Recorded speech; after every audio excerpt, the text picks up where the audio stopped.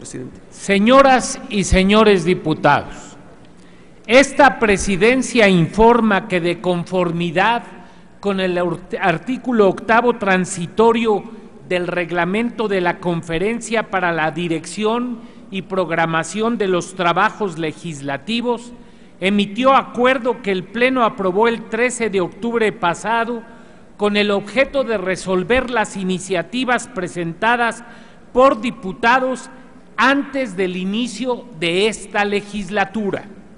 En tal virtud, diversos grupos parlamentarios y comisiones manifestaron por escrito, como se requería en el acuerdo, su interés por mantener vigentes 130 iniciativas, a saber, Acción Nacional 61, PT 30, Nueva Alianza 19, Comisiones DF 12, Equidad y Género 7, Asuntos Indígenas 1.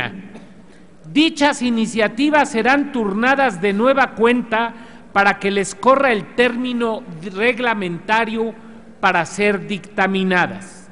El listado con los turnos correspondientes se encuentra publicado en la Gaceta Parlamentaria.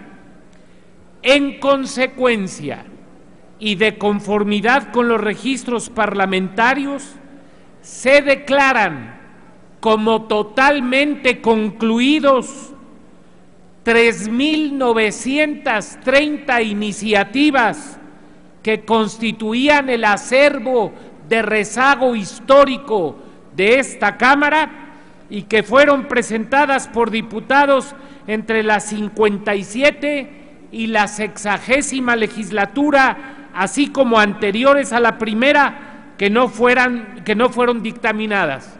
los listados correspondientes se encuentran publicados en la página de Internet de la Gaceta Parlamentaria.